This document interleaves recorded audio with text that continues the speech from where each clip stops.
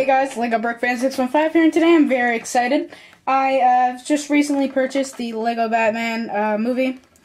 Uh, so yeah, it says Lego Batman the movie, DC Superheroes Unite, and I haven't actually watched it. I've been told about it though. Uh, my friend Ian, who's been in some of my videos, has seen it, and he uh, has this as well. So yeah, um, here is uh, I got this at Fye um, just recently, and here's the actual uh, disc, or not disc, but movie.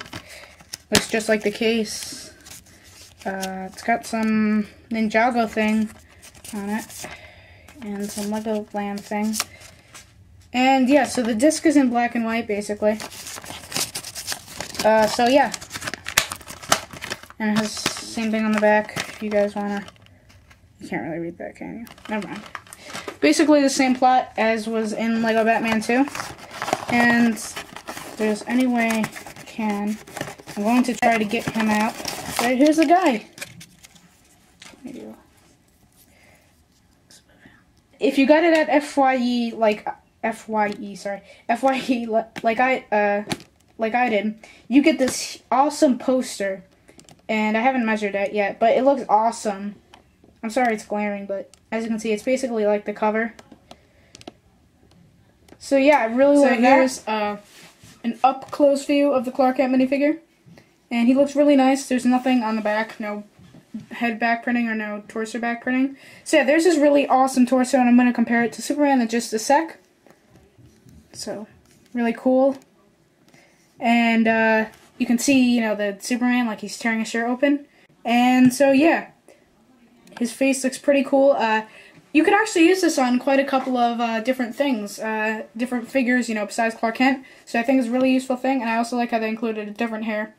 Uh, but also some people may argue with that, especially since in the game he had the same hair as Superman. So yeah, let now uh, let's compare him to the actual Superman. So yeah, here's a comparison of the two minifigures on their faces, uh, on both of their stern faces. Well, although he doesn't have a second face on Superman's stern face.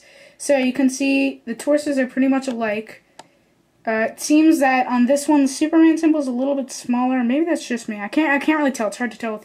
And you can see he's got the six pack there.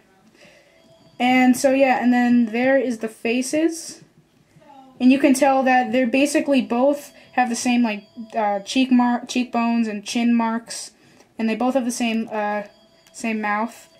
And uh, yeah, so except this one's eyes are a little bit like more up on the head, but so yeah, you guys can see the differences. Uh, so yeah. Also, uh, you can see, I'll show you what Clark Kent would look like with the Superman hair on. Like he was in the game, and I haven't seen the movie yet, but he might be in the, uh, might be like that in the movie. So yeah, there he is with the, uh, Superman hair on, and it actually doesn't fit him as well. Um, as you can see, he's got basically a huge forehead, whereas this one, it does. Uh, so yeah, that's my, my up-close view of uh, Cl the Clark Kent minifigure. Before I go, I do want to mention that uh, I got this for $15. Uh, so yeah, uh, hopefully you guys will get this soon. Um, I haven't seen the movie yet. Uh, a lot of you are probably not going to get it because it is the same exact plot as Lego Batman 2, but I think this is what most people will be getting it for, an awesome Clark Kent minifigure, which is what he is. I think he's awesome. Uh, so yeah, guys, uh, this is Lego Brick Fan 615 signing out.